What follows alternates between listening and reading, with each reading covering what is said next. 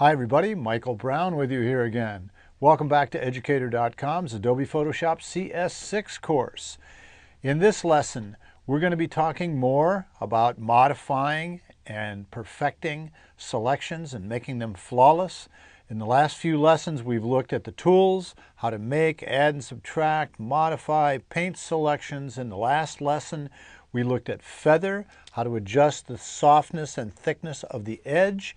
In this lesson, we're going to go further into refining the edge of a selection. First of all, we're going to do a little recap of the use of feather. Um, we're going to go into the refine edge dialog box. If you look at your toolbar and every one of the selection tools, over here it's grayed out right now because we don't, I'll just make an active selection.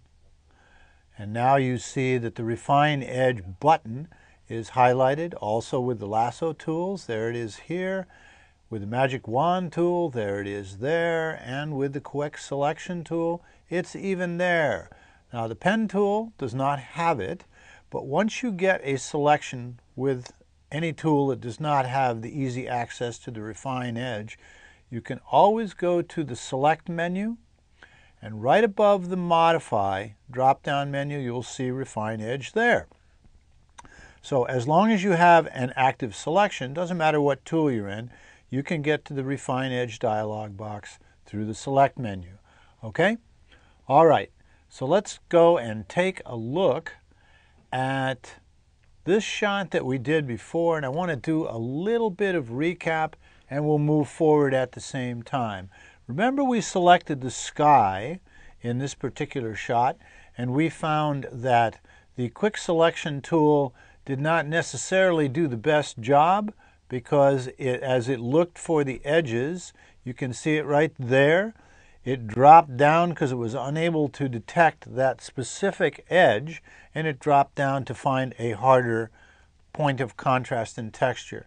So we tried the magic wand tool and remember you can adjust your tolerance. The wider the tolerance, the wider the range of color. If I run this up to like 65 and I click, it's probably going to go crazy.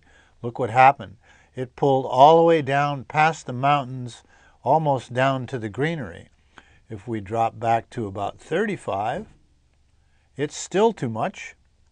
But if we drop down around, let's say 11, we don't get it all. There's the band of similar color to correspond to a tolerance of 11. Excuse me.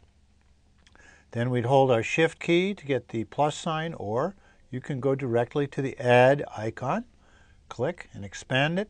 Oops, I didn't add. I just did that. So it took a new one, shift to add. There's that shift one more time. And you can now see that let's zoom up with command on a Mac, control on a PC, and the space bar. We'll scrubby zoom on up.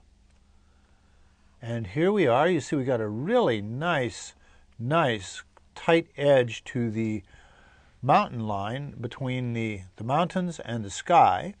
We're going to take a look with Quick Mask at the edge of that selection. Let's zoom it up, Command or Control plus a few times, and look what happens. With the magic wand, and this quick selection does have anti-aliasing that smooths slightly, but not necessarily enough. In this case, you can tell we have no feather. You can see that by the jaggies. So that's going to be a little prohibitive to make a smooth blend. So how do we deal with that? Remember in the past, we could have gone select, modify, feather, and picked a number but you don't necessarily see immediately what the number is doing until you type it in. Then you go back to Quick Mask and you go, gee, that's a little too soft. Uh, so we're just going to go ahead and back that out to where we've got the hard one. Well, there's